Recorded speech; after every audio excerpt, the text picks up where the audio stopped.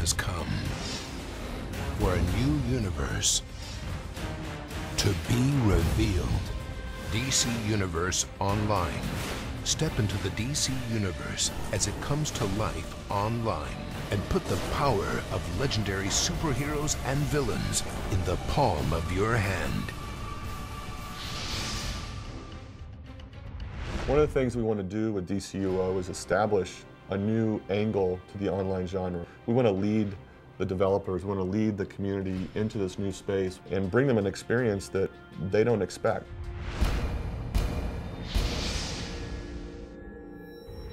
Our goal for DC Universe Online is to allow the players to feel like they've stepped into the DC Universe. And not only just stepped into the DC Universe, but stepped into the DC Universe through the eyes of Jim Lee.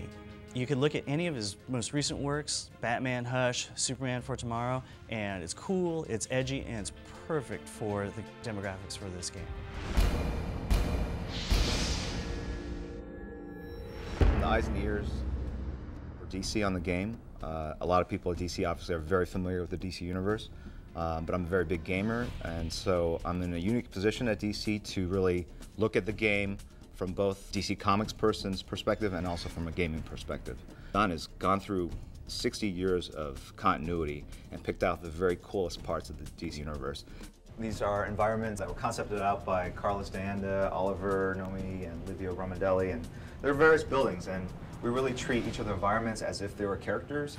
We want them to have personality and a presence, and we do that by picking suitable colors, also by making sure every element of an environment really speaks of that environment. So if we do a street corner in Gotham City, we want players to be in the game, look one direction, know instantly that that's where they are. At the end of the day, the environments have to work towards gameplay, and if the spaces are too large or too confined, too constricted uh, in their space, they will modify it here. We actually have concepted out every asset in the game, every character in the game. This is the starting point. This creates the dialogue between the artists at, in San Diego and the artists here at Sony and uh, there's a lot of interplay and fine tweaking that goes back and forth.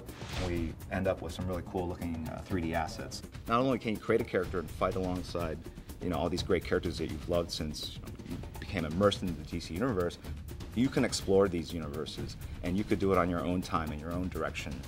You know, it's really another way to experience and enjoy the DC universe.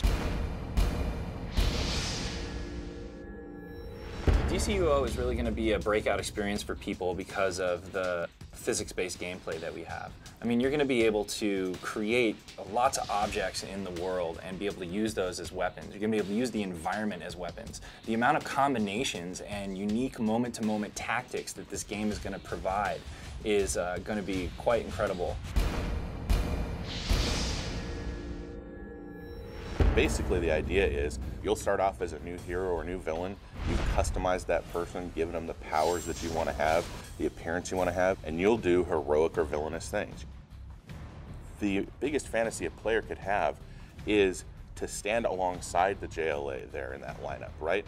Not necessarily to be just another person playing Superman in another Superman game, but instead to be the equal of Superman, to be respected by those guys.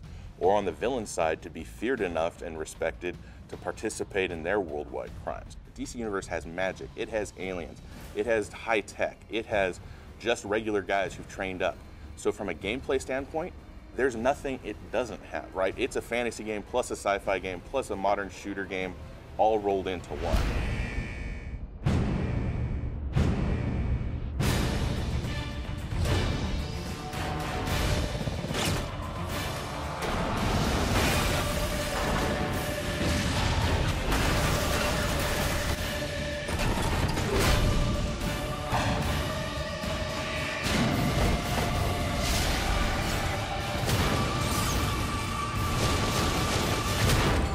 DC Universe Online.